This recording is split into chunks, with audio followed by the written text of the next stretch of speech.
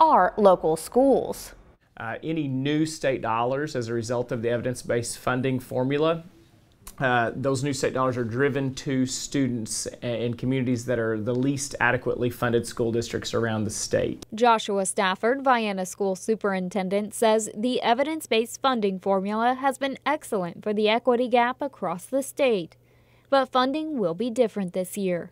They passed a budget implementation bill that for education funding calls for level funding. Uh, meaning that there will be no new dollars going into the evidence-based funding model or mandated categoricals.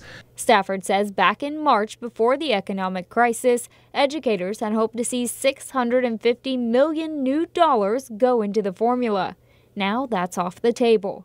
We were hoping to add some additional teaching capacity uh, to our schedule and, and we're, we're actually going to have a board meeting to have that discussion of, of what do we do.